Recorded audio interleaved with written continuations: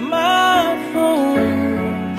I sit by myself Talking to the moon